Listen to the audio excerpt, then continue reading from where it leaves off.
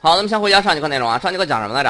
上节课讲的 PS 对吧？PS 有这个一些滤镜对吧？当然讲 PS 了。那么滤镜里面收了一下尾，讲了一些这个 PS 内部的一些滤镜，当然还有更多更好玩的外挂的滤镜。看以后有没有时间给大家介绍介绍。那么这次讲什么呢？这次讲的 PS 动作。什么叫动作呀？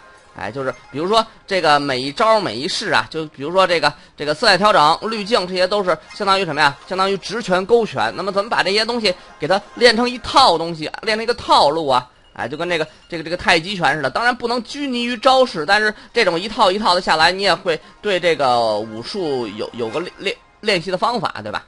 哎，比如这以前练功夫啊，都讲究这个啊，比如说练刀吧。刀交左手，怀中抱月啊！单刀看手，双刀看肘，大刀看滚手啊！前看刀刃儿，后看刀背儿啊！上看刀尖儿，下看绸子穗儿啊！来个夜战八方藏刀式，把式把式啊！全凭架势，没有架势不叫把式啊！怎么样？这个，这个，呃，光说不练，那叫什么？那叫贼把式。光练不说怎么样？那叫啥把式啊？您看我这盒啊，连盒带药，连工带料啊！你看看我这大力丸啊，这这这说说远了。那么这个是动作，动作什么样呢？比如说切到 PS 里面，那什么叫动作呢？打开这张图之后，在窗口菜单里有一个东西叫什么呀？Alt 加 F 九，动作不是动画，是动作。哎，动作有什么动作呀？哎，一开始有一些默认动作，对吧？有一些默认动作，你看它有一些这个有有这个。小框啊，对吧框状态哦，那么这个什么意思呢？这个比如说四分四分颜色吧，播放一下，哎，你看刷一下它就成这样了。那到底怎么成这样的呢？看历史记录，看历史记录。那么它是不是先打开，然后复制图层，然后去色色阶，甚至它还建了一快照，对吧？哎，它怎么一步一步的？哎，这个这个矩形选框怎么好？怎么正好选到四分之一，然后让它是四分颜色呢？色彩平衡。那么你可以看到这个动作里面对应的东西啊，第一步建立快照，哎，是不是就是这块儿建立快照？然后什么转换模式？你说它怎么转换的模式？哎，至 RGB 色彩模式，复制当前图层，去色，然后色阶，你发现了吗？色阶，哎，是怎么调的？曲线是怎么调的？哎，设置选区啊，这一个就完成了，对不对？这一个就完成了。当然这块这块有这种东西，这种东西是什么？这种东西是类似于对话框的东西，对吧？啊，你可以让它有对话框，也可以让它没有对话框。什么叫有对话框呢？比如说，把它历史记录啊切回到原来这种状态，动作。那么这个时候，我把它这块加上对话框啊，对话框状态，确定，确定，确定之后怎么办？哎，再再把它播放一次，建立快照，它是问你快照的名字，对不对？每一次都问问你复制图层的名字。哎，你可以看到这这回就是它怎么一步一步色阶做出来的啊，曲线是怎么调的，对吧？啊，色彩平衡是怎么调的？一个出来了，对吧？啊，第二个，哎。第三个、第四个，最后是不是就完完完完成了一步一步这样对话框就就就设置出来了？哎，这挺有意思的。那么还可以去掉对话框状态，就这么几个默认的动作吗？那也太没意思了。哎，那还有没有什么其他动作呀？比如说，哎，这是渐变映射，播放一下它会怎么样？播放一下，刷一下，它渐变映射了，对吧？有点意思。那么这个怎么办呢？又这个在这点它，点它之后你会出现这这些东西，比如说开始记录、再次记录什么的。这块还有什么复位动作、载入动作？那么这块有一些什么画框啊什么的，哎，当我点击画框的时候，你你会发现它是不是新出了一块？哎，对不对？当然，当然我再点制作，哎，它是不是又又新出了一块？哎，当然我点复位呢，什么意思？确定、取消、追加，这个东西很眼熟，对不对？哎，如果追加的话呢，就全都有，对吧？两个默认动作，当然我可以把它删除掉，哎，删除掉。这个东西像什么呢？以前也类似过，类似的见过对吧？确定、取消和追加，哎，以前什么见过？画笔的笔刷，包括形状，包括图案等等等等一系列的东西，对吧？哎，这个都是 Photoshop 为什么强大？因为它开放啊，一个人也是应该这样啊，只有有这个比较大的胸怀，这样才能够接纳各种知识啊，容纳各种各各种情况啊，海纳百川嘛，有容乃大啊，那么。那么这个画框里面可以有什么动作？首先我把它恢复回来吧，恢复到这种呃原始照片照片的状态啊。从图层上看一下它原始照片是什么状态，只有一张原始照片对吧？Alt 加 F 九，哎，刚才看换页键了。那么这回给它加一什么动作呀？加一个照片卡角，什么意思？播放一下。哎，看看不出来，把它缩小一点，Ctrl 减。哎，你可以看到它它这个这个照照片怎么样？是不是像卡住一样？哎，这个这这个时候打印的时候还挺挺好玩，有点效果，对不对？这个咱原来原来如果咱们做的话，可能是比较费劲，比较费劲。那看他他现在怎么做的？哎，照片卡角一步一步的建立快照、复制图层、填充啊、做三角啊等等等等，最后才做出来的，对吧？各种各样的画框一下就都有了。那么是不是就只有这些动作呢？比如视频动作，哎，你可以看到广播电视这个明明明亮度什么的，这个你说这个我能不能从网上下载一些动作？哎，可以啊。那比如说，呃，从网上下载，那就是载入动作，对吧？载入动作。那么哪儿有动作？比如说在，哎，你看到它的文件夹了没有？它文件夹是什么结构的？啊，Actions 啊。一般来说，在这个，呃，它这这是一个临时文件夹，在这个 Program Files 底下的 Adobe 底下的 Adobe，啊，Photoshop CS4 底下的 Presets 里面的啊 Actions 这里面会有。那么当然，我我下载可能没没搁这儿，哎，我我搁到这儿了。比如说我我有这么一个。哎，这个不能都选，对吧？不能都选，那那么选第一个。哎，这样这样它就出现了。那到哪儿去找呢？到哪儿去找？网上很多，对不对？网上很多，这个啊，Google 一下或者百度一下都可以啊。这个 Photoshop 动作下载，哎，比如说这块儿你可以看到专门的，它除了笔刷、样式、图案、滤镜等等之外，还有一个动作下载，这块也有啊。这种动作专门的动作下载，动作下载，Photoshop 动作，点了之后就可以下载就过来了。你看到都是什么样动作？比如说简单美白动作，这个这个就是我觉得更傻瓜化一些，对吧？哎，包括淡蓝色调色、简单暖色调色动作，这些暗红色调色动作，这些东西你要想象一下，是不是基本上就是拿一个色阶或者曲线搞一下就可以了？哎，那么就是一套路。说原来可能一步一步一步做，先做什么后做什么，哎，现在形成一套路了。但是套路也有套路的麻烦，哎，你就有招了，对吧？你就不可能做到无招胜有招了。那么，这个切回 PS，切回 PS，你看这个里面有有有什么动作啊？有什么动作？这个时候有什么？啊，这些动作普遍是应用到什么地方的呢？比如说我在这新建一个文件，建个文件五百，好吧，五百，然后在这写点字，写什么字呢？啊，首先首先这个这个色彩模式不对是吧？把它色彩模式切一下，图像模式，我怎么一下就看出它不对了？哎，你可以看到这块。它的标题是灰色，对吧？否则的话，一会儿又出问题。灰色模式叫什么模式呢？叫 RGB 模式。好了，然后把图层 F7 调出来，哎，写个字，什么什么字呢？比如说这个 Adobe 的 T 啊，什么字？O Easy，O Easy，O Easy。好，写了之后怎么办呢？Ctrl，哎，不用 Ctrl T，基本基本也也比较清楚，是吧？哎，那么可以搁到这儿，哎。放不下，放不下怎么办？变小点，变小点儿，好，变小点儿，变小点儿之后怎么办呢？哎，这个可可不可以变粗点儿啊？哎，小浑厚一些，对吧？浑厚一些。那么这个时候有了它，然后怎么办呢？然后对它进行一些动作，比如说这个字还是太太怎么样？我可以我可以把它变得更更厚重一些嘛？哎，这是不是要比较厚重啊？哎，我比较喜欢这种厚重的感觉。那么。再对它进行动作，什么动作呢？比如这些，比如说这个有一 fire fire 动作，播放一次，啊，继续，继续，然后就自己搞了，自己搞了。它搞什么呢？你也不知道。哎，最后的结果，你看最后的结果是什么样的？这个是不是就出现类似于火焰的感觉？火焰的感觉。当然，一个字可以，一个按钮是不是也可以啊？一个人是不是也可以啊？变成超级赛亚人了，对不对？怒火中烧的眼睛里面眼球是不是也可以啊？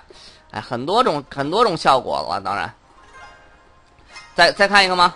哎，比如说我把这个历史记录推回到这个比较初始的状态，啊，这种状态。然后呢，这个再找动作，什么动作呢？比如说 Crystal，Crystal 播放一下，继续，继续，继续，继续啊！他每次都问你一下是吧？好，继续。哎，这块就设置对话框了，对吧？哎，确定了，按默认的来做。这个时候你就可能不太清楚它到底在做些什么，但是最终它有这么一个效果，对吧？哎，再继续。哎，最终有这样一个效果。那么这个效果呢，你可以看到它是比较明显的。当然，我可以怎么样？为了它更明显一点，把这个背景涂成黑颜色。哎，黑颜色又。又又太那个什么了，调成红颜色吧，暗红色，哎，确定，涂一下。你看这个，它是不是有有一种 crystal 的感觉？什么叫 crystal？水晶之类的。哎，以前定义出来这个挺好的，啪一下它就出现一个动作。那你说这个动作跟滤镜有什么区别？动作是不是就是滤镜啊？动作是不是滤镜？动作滤镜是怎么样？啪，比如说我我点一个，哎，它它这个这个球面化，啪一下它就自动出一些效果。比如说我点一下水彩，它就自动出一些效果。但是我不知道它里面怎么搞的，对不对？但是这种水晶字之类的东西呢，它可能是一种 open 的东西。哎，每一个动作我都可以知道它怎么搞出来的，对不对？我都可以我都可以看到它怎么最后怎么生成这种水晶字的。哎，这这样可以便于这个交流，便便于学习啊。而且还可以细化进去，调它具体的参数，对不对？调具体参数。那么，别人这些也是人做的，那我能不能自己做一个这个字啊？能不能？那么，做一个动作，比如说我现在有一个什么想法呢？比如说这个这个图，这个图啊，把它切到原始状态，原始状态就是这种状态。好，那这个时候我能不能自己一个新建一个动作呀？比如说这这这这这都是人做出来的，我自己能不能做？我自己能不能做？我也能做呀。首先，我在这儿新建一个文件夹，对吧？我这叫什么呀？叫我的动作组，我的动作组啊，我的动作组。那么这是什么？这这就是一套，是吧？哎，我就在这里面，这是什么呀？这是第一个套路哈。什么套路？叫什么？叫我的动作，我的动作一，动作一。好，我动作一，这时候开始录了啊。这样停就不录，录就录，停就不录，录就录，对吧？哎，那么这时候可以先停。我想想我做些什么，比如说我这时候新建一个文件吧，新建一个这么大的一个文件，然后呢，把色彩模式调一下。我怎么一下看出来了？在标题上写着呢，对吧？RGB，然后呢，再做一个形状，什么形状呢？啊，用钢笔做吧，恢复一钢笔工具。哎，这种什么形状呢？把它放大一点，再放大一点。哎，哎，哎，哎，哎，哎。然后呢，这个这个点怎么样？这个点把它拉平，拉平，这样拉平。这个点怎么样？把它拉平，这样拉平。这个点怎么样？把它哎这样拉平。哎，这个点怎么样？把它拉平。那么这个弧度这样的，这样是一个弧度，这样是一个弧度。哎，当然这个弧度还还行吧。然后呢，这个时候我还没有开始动作，我把它怎么样？我把它啊山格化，山格化了。山格化之后呢，把它看成大小，Ctrl T 一下，Ctrl T 一下变小一点，稍微小一点，大小这么大合适了。好，这个时候我开始做动作，怎么做这个动作呢？这个动作就开始录了，对吧？开始录的时候，Ctrl T，Ctrl T，我把这个这个这个点给它移动到这个位置，然后再把它扭一扭，扭一扭，哎，停，这个时候停。那么这个时候你播放了一下，啊，它在不断的翻转是吧？你看它这个都是怎么怎么写的？角转度零什么什么什么这个那个，对吧？那么这这个时候这个动作显然不太合适，那么怎么办呢？删掉它，删掉它，再再用再用移动工具把它移回来，移回来之后再重新录，对不对？重新录，Ctrl T 啊，Ctrl T 先把它这个挪挪到这个角上来，然后按住 Alt 键，啊，也不行是吧？也不行。那么这个时候怎么办呢？先停吧。啊，录的时候第一步就得 Ctrl A、Ctrl C、Ctrl V，对吧？哎，那么这个时候 Ctrl V 它又又又又跑到这个位置，又不太合适。那么这个时候还是得删除。所以说这个录的时候你得你得非常注意，对吧？非常注意。那么这个时候整个整个删除，整个删除。我动作一又又清空，清空又重新开始。重新开始的时候怎么办呢？首先把它新建一个图层出来，一模一样图层。然后对这个图层你进行什么？Ctrl T，Ctrl T。Ctrl D 取消选区，Ctrl T，Ctrl D 之后呢，把它挪到这个位置啊，这个位置，这个位置，然后旋转一下，确定，这个时候这个动作结束，然后再播放一次，成不成？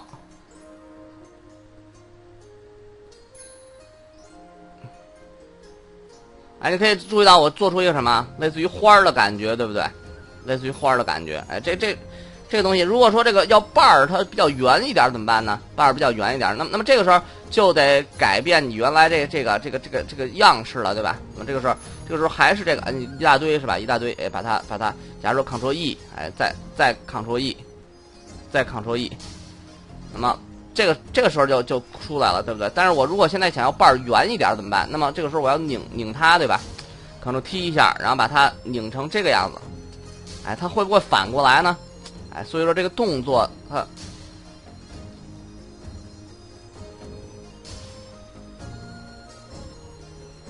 哎，这个动作它它现它它现在是不是就反过来了？哎，那么这这个这个，如果说我要是把它这个呃变粗一点呢，会会会会怎么样？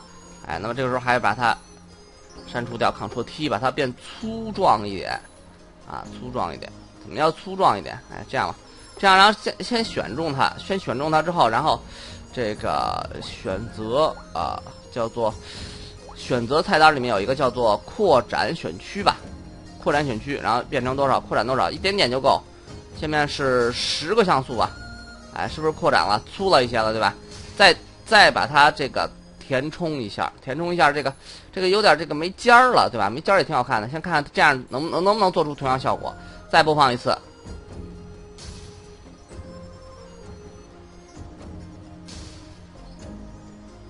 是不是也可也也可以做出同样的效果？这哎这这个东西挺好的吧？哎。那么这个就是一个比较简单的动作，它可能只需要三步：复制当前图层，设置选区，设置选区实际是 Ctrl D 取消选区，对吧？然后再变换，变换的时候你注意到它的相对位置啊。这要保持的一点就是它这个大小得基本差不多。比如说你这个大小变很多，可能可能就有问题。那么呃，咱们再做一些吧。实际这个东西和后边的一些一些批量化处理可以用在一起。比如说呢，比如说你这儿有一批照片，都是什么照片啊？都跟视频有关。如果说这个照片跟视频有关，有两种情况：一种是视频转化成照片，还有一种是照片转化成视频，对吧？如果照片转化成视频，一般是图像大小的转变，对不对？转化成图这个视频大小，然后这样你拖动的时候就比较快了。而这个这个视频转成照片是什么样呢？就是视频有它一些特殊的效这个效效果。现在都是按帧来说的，但是以前是按场来说的。什么叫场呢？哎，举一个例子来说，比如说当前图层状态是这样的，那么这个时候我给它怎么办呢？我新建一个文件，宽度一个像素，高度两个像素，这样一个一个一个小点点，然后怎么办呢？哎，把它这个小点点把它选中，选中之后用黑颜色给它涂一下，现在是不是就是黑白两色了？对不对？我再把它定义成一个什么呢？定义成一个图案，定义成一个图案。好，这要一个图案。那么我再切回到这边，哎，切回到哪儿了？切回到这个，切回到这儿之后，我在这儿新建一个填充图层，啊，渐变图案填充图层。这个时候，你看这个图案整个灰掉了，对吧？但是呢，我把它放大到一定程度，你会发现它是黑白条了，像斑马一样。哎，这到底在做什么？这时候把它的色彩模式转化成什么呀？转化成绿色。你瞧图像怎么样了？发白了，对不对？就是说有没有这个这一层它是发白的，你发现了吗？实际这就是真正这这个视频这个早期的模式，它什么呢？绿色正片叠底都可以，绿色可以屏蔽，可以屏蔽黑色，对吧？正片叠底可以屏蔽白色。你看这个就一一条一条，实际上都是这样的。就是你真正看到的视频啊，实际是什么状态呢？它是一种隔行扫描的状态。就是说，一条有一条没有，一条有一条没有，一条有一条没有。所以呢，它是有场的观念，它是有一个前场，有一个有一个后场。那么它实际上每一次都只刷新一条，它并不是整个图像都刷新的。所以说，你这个图像看起来会可能会放到一定程度，它会有点怪。那么这种这种图像怎么才能把它变成正常的照片呢？哎，这个时候呢，就可能需要怎么样，把它这个图层合并一下。图层合并之后呢，然后再用滤镜。有什么呀？有这个视频类的，哎，逐行扫描，哎，他问你奇数场还是偶数场？是插入是复制还是差值？复制差值很像什么呀？差值以前学过差值算法对吧？是按周围这几个差值呢，还是按照什么三次立方呢？还还两次立方呢？还还还是如何如何对吧？那么还有复制，咱们说过它是呃取一圈还是取上下左右？还是复制就比较简单啊？奇数场是什么意思？偶数场什么意思？先点奇数场看看。哎，一下成功了，对不对？这个黑条是不是一下就没了？哎，反反之的话，哎，反之反之的话，滤镜、视频，哎，滤镜、视频、中行啊，把它改成偶数场，你估计它会变成什么颜色？是不是变成纯黑色的？因为它每个偶数场那个偶数，那么咱们看一下什么叫奇数场、偶数场啊？什么叫奇数啊？一三五七九，对不对？一三五七九是奇数，所以奇数场会怎么样？哎，什么叫偶数啊？二四六八十，所以偶数场会怎么样？哎，这是不是很清楚了？把这一套，包括大小，包括这个。这这这这个这个转换的这这个这个滤镜啊，都给它定义成一个动作，是不是一套用起来就非常快、非常顺利了？啊，咱们这次讲的是什么？讲的是动作。当然，你你你你要的这些动作也可以上传到网上和和一些人共享，对吧？哎，好，这次就这样，谢谢大家，再见。